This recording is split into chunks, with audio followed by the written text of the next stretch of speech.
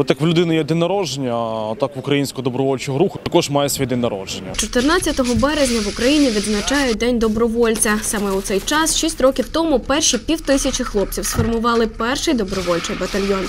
Волинянин і очільник нацкорпусу Андрій Дяченко пішов воювати у полку Азов. Специфіка взагалі полку Азов полягала в тому, що там було насправді дуже мало хлопців Західної України, але з приємністю скажу, що от представництво від Волині було наймаш, наймасовіше зі всіх західноукраїнських.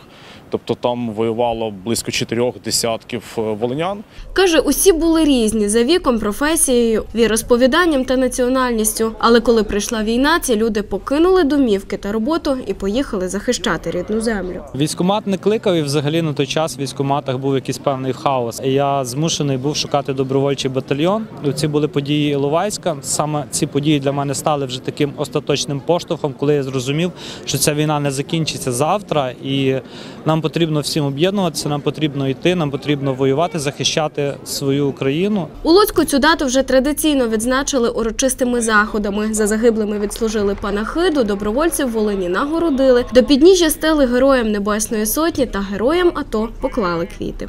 Конкурент. Новини Луцька та Волині. Підпишись, поділись, прокоментуй.